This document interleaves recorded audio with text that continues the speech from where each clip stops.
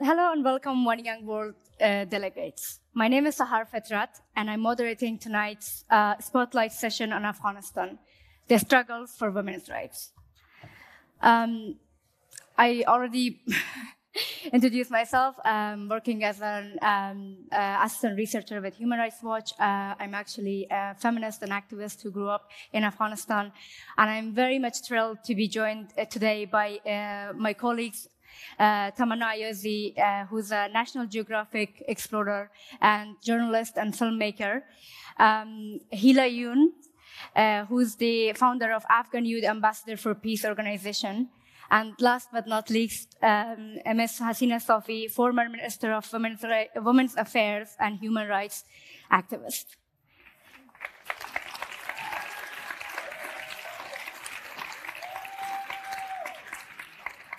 Thank you all for joining this session today. Um, in July 2022, UN uh, High Commissioner for Human Rights, Michelle, Michelle Bachelet, said that the Taliban takeover of Afghanistan and the current state of women's rights was the most significant and rapid rollback in enjoyments of uh, women's rights across the uh, Afghanistan in decades. Um, Hasina John, I'm going to start with you. How has the Taliban's uh, rule and takeover impacted the rights of women and girls in Afghanistan since last August? Thank you very much. Good evening to everyone. I would like to thank uh, the One Young World Summit uh, to have a session for Afghanistan. We really value it at this critical time. How did uh, the Taliban takeover uh, affect uh, our impact. The women, I think, from mobility to participation, uh, from uh, having small businesses to being in the decision making positions, it has been erased. There is no address for the women of Afghanistan today in order to say and to highlight their issues at the very critical and very grassroots level to the policy level. So on the whole, we can say that whatever investment had been done in the last 20 years has been frozen in the last one year. Thus, as a women's rights activist who started her struggle at the age of 15, I urge all of you, don't take life granted. It's a world of challenges, but it's a world of hope stand with the women of Afghanistan, whether it is education, health, participation. Today it's Afghanistan. Tomorrow it can be yourself. Stand for humanity. Stand for the women of Afghanistan. The situation is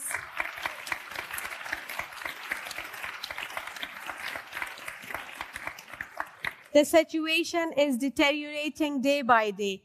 But today it is a minute of hope that you yourself value your valuable time to listen to us and we, the youth of Afghanistan, stand to invest whatever they have gained in the last 20 years. Thank you.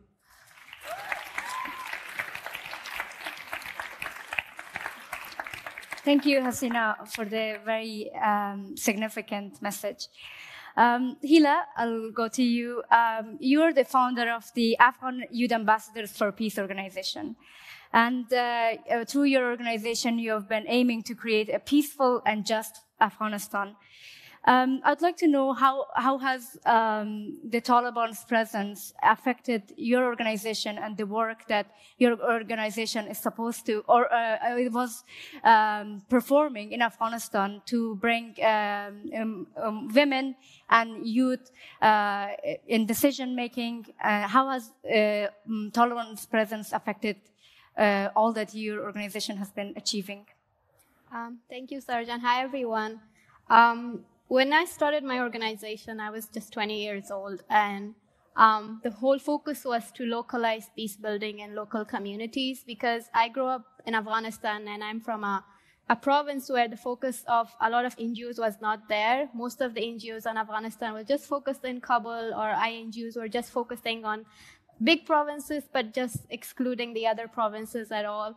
When I started my organization, I was trying to focus a lot like how we can make this youth centered and how we can localize uh, peace building in local communities. We, can, we implemented a lot of community peace build dialogues with religious leaders, tribal leaders, because we believe that engaging all the stakeholders in every decision making processes is that's when we actually can build sustainable peace in countries like Afghanistan. At the moment, our organ, our activities and advocacy have take a pause because of the current security situation. We cannot like do everything uh, openly, but we're still doing humanitarian work and we're trying to do our humanitarian work from um, gender lenses. Because for us, peace doesn't mean the end of war. Just because we're not having terrorist attacks or bomb blasts, it's not peace for Afghans.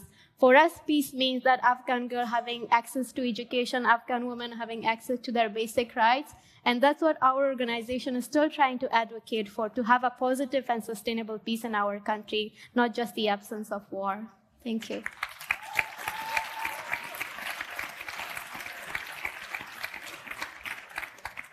Thank you, Heela. It's, the situation is indeed um, very unfortunate. And um, in 2022, um, Afghanistan is the only country where girls cannot go to secondary school and get education. Um, Tamana, uh, as a young Afghan filmmaker, you've been documenting the situation of Afghan women and girls, and you've been documenting the evolution of the situation.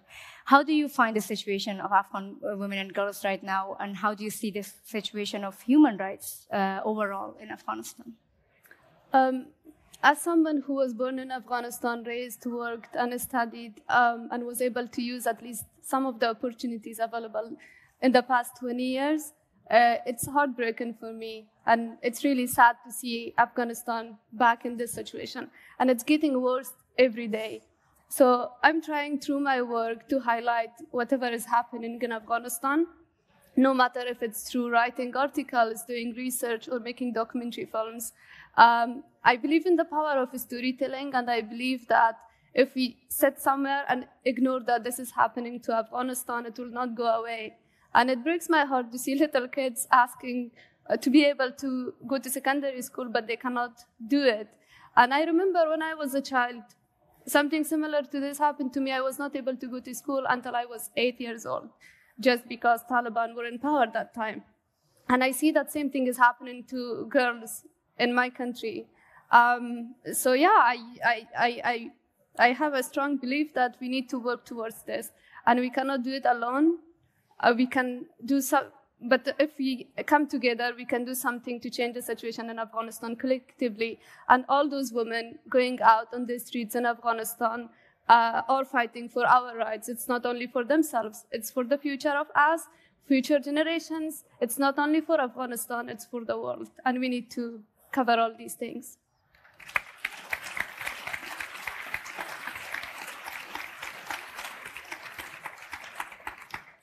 Yes, and once again, indeed, um, there is a lot of courage in women in Afghanistan who are fighting uh, in the streets and for the rights of everyone, asking for their rights for um, bread, freedom, and work. And uh, yes, and we we are here uh, uh, to celebrate their courage, and we are definitely very much grateful to them. Um, I'm going back to you, Hasina John. We keep talking about the the this uh, women's rights crisis, human rights crisis, and um, it's indeed heartbreaking. What can we do? What do you think the people who are listening to us here today, what can they do when they go back to their home countries or home societies? How can they advocate for the rights of Afghan women and girls? Thank you very much for the very relevant and required uh, question. I think the first thing we can do as individuals, including ourselves, just decide for one small thing which you can do for the women of Afghanistan, for the children of Afghanistan, and follow that up. How will you follow it? Within your own capacity, as an activist, as a government employee, as a non-government employee, as a business holder, just whatever you do, think about what kind of a critical situation do the women and children of Afghanistan are passing through now. In what can you do? As an individual, you measure that. And then as someone who can ha- who has done advocacy, you can do advocacy within your na- nations, within your governments at policy level, not to forget the women, not to forget the people and the children of Afghanistan. So I would just give three specific recommendations. The first recommendation is that presently, with all the poverty, with all the flood, with the COVID and everything, how much access of the humanitarian aid, which is collected from your taxes, is getting access to the women of Afghanistan, to the widows of Afghanistan, as a war, as a war for the last 40 years, to the female-headed households of Afghanistan. Just remember that. The second thing, with the education, if girls don't go to, edu- they, to school, it means they are buried alive. Education is the key to success. Education is open, an eye opener.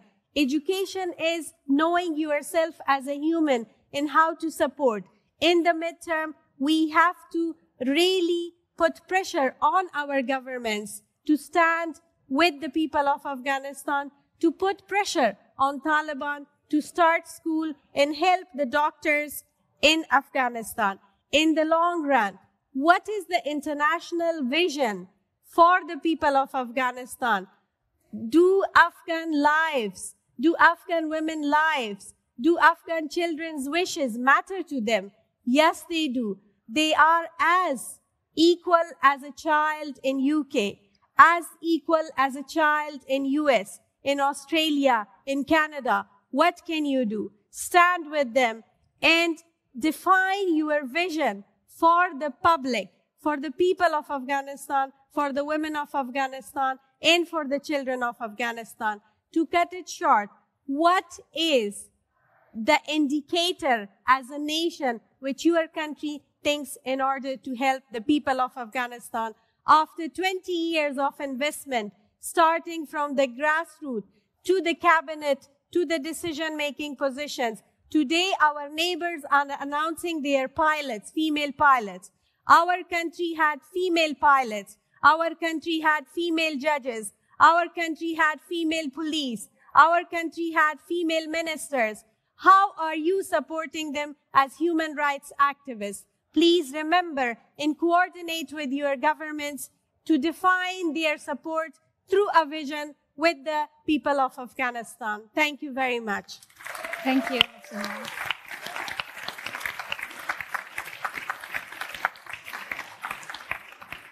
Thank you. Um, Heela, can I have your uh, message shortly? Um, I think Asina John covered most of the things that um, we wanted to recommend. But one thing I would recommend for young people, because I know a lot of you came from different countries and you have been working in um, this platform or this field for a long time, the first thing I would recommend is to build your knowledge about what's happening in Afghanistan. I see so many people in these countries or different activists, they don't really know what's happening in Afghanistan. They're not up to date. I would recommend, like, please follow up, read the news, read the new reports, and know what is actually happening in Afghanistan and what solution and what recommendation INGOs and local NGOs are asking us to provide for them. The second thing is, I know there's, there's humanitarian um, support is going to Afghanistan, but we also need to know that there is a banking crisis in Afghanistan right now, and not a lot of money is going to Afghanistan. We should focus more on how we can solve the current banking crisis because it's related to so many humanitarian uh, uh problems at the moment. But if you cannot do that, at, do fundraising at your school, at your community for Afghan people, for Afghan children, because Afghanistan has a humanitarian crisis at the moment, and so many people are dying because of climate change.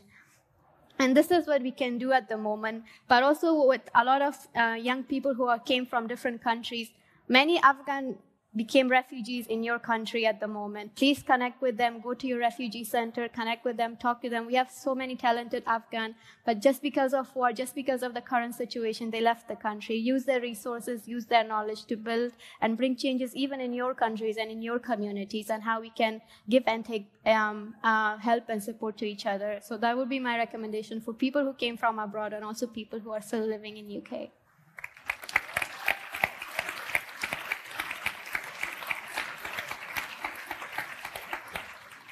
Thank you, Heela, and thank you for mentioning the refugees. I think that's a very uh, important message you sent, uh, and I hope the people who hear us um, do extend kindness to uh, refugees from everywhere, and also Afghan refugees who have lost their country.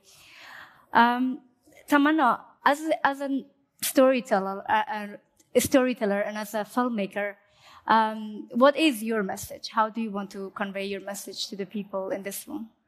Mm-hmm. As I always say, I don't want to stick to being only a journalist and filmmaker. I'm also a human, a woman. Uh, so I have a broader, a broader message. I would say that don't forget Afghans who are still in Afghanistan. Um, and there is a lot of humanitarian crisis beside all the restrictions happening by the Taliban. And also do not forget the ones who left Afghanistan, uh, because I'm one of them, and I know how it feels to be in a different country and start life from from almost nothing.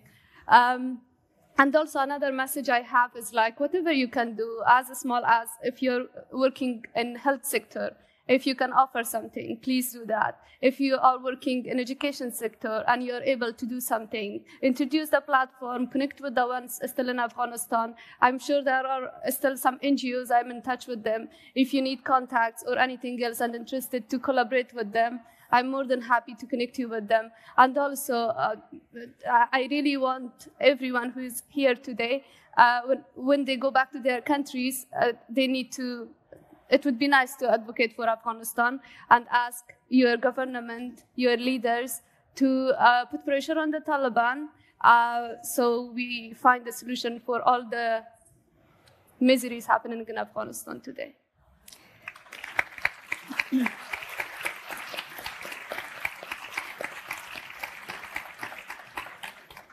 Thank you all so much. Thank you for the uh, very much heartfelt conversation. Um, um, I I would just add that um, if uh, because we started this session talking about uh, the struggles of uh, women and women's rights, I wanted to say that um, Afghan women are definitely struggling a lot right now. The ones who are in the country, and they're the ones who are actually fighting back. And um, if uh, in my view, if uh, resistance and uh, uh, fighting back and courage had an address in Afghanistan, that would definitely be women of Afghanistan. And uh, with that, uh, we're closing this session. Thank you so much for joining us. On behalf of One Young World, I thank you all and thank you for being a part of this community. And let us all stand in support of the women of Afghanistan.